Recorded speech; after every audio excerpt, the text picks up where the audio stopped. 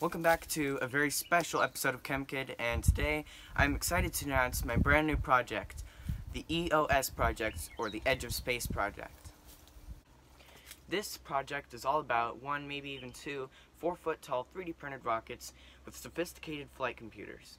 This episode is specifically part one of the launch pad, the launch pad for these rockets.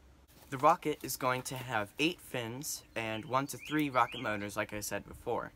Now, things like the uh, launch lugs, the nose cone, the launch pad itself, even the fins, they're all going to be 3D printed.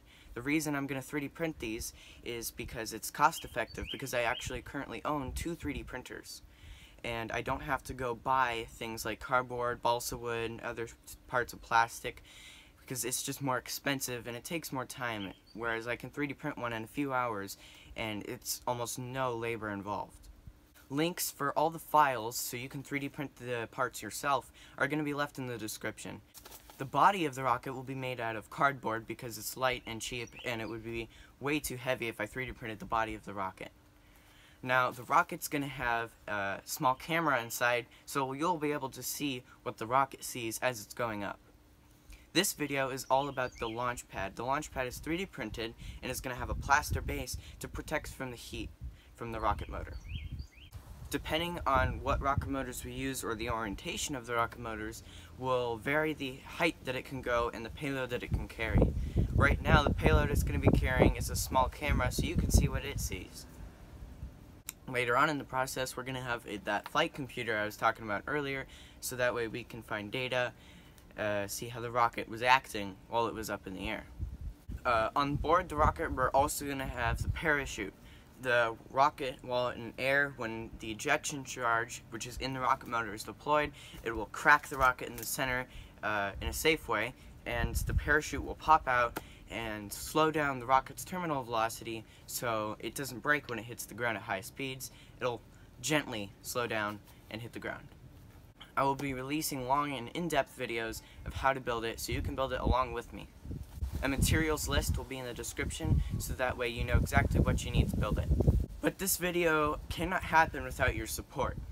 Now, I will be paying for as much of the project as I can out of pocket, but I can't I don't have the flexibility that other YouTubers have and I don't have the publicity that other YouTubers have, which means I have less money, which means I can't do giant projects. This in and of itself is not actually a super expensive project. The goal is to raise $100 by this fall. But if you want this project done, it would be greatly, greatly appreciated if you can donate absolutely any amount of money. There's a link in the description to a GoFundMe page where you can donate for this project. That way, that'll cover the entire project and everything that I'm not paying for out of pocket. Because I'm using crowdfunding, this allows me to make this really high quality project. So the videos are going to be a little bit higher quality than they usually are and a little more exciting and in-depth. I'll begin posting these videos as soon as I can afford it or you guys have donated enough money that I can buy the components.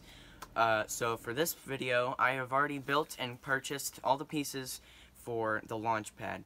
I want you guys to donate if you genuinely like my content and you want it to be better.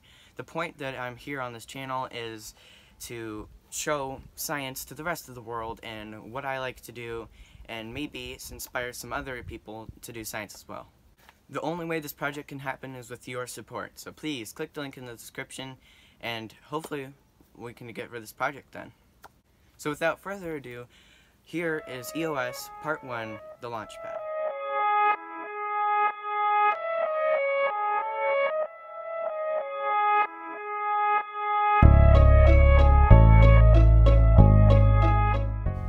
Now, if you do not have a 3D printer to 3D print the base, then you're going to have to use your imagination, and this project is pretty flexible, so it doesn't really matter.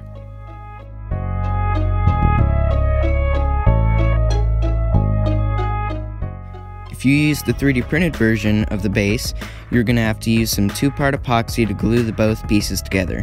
The brands does not really matter. I'm using a brand called JB Weld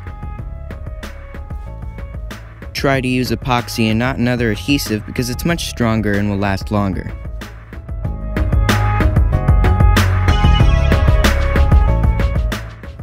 Now we're going to have to mix up about 250 milliliters of plaster Paris and then we are going to pour this inside the base to keep it heat resistant from the rocket engine flame during takeoff.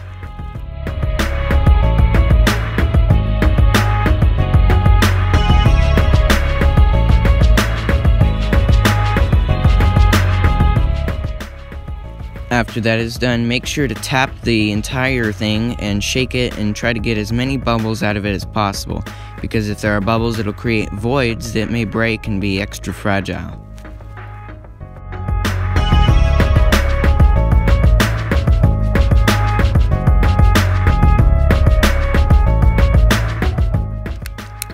Now you can see that our plaster has made this fire resistant.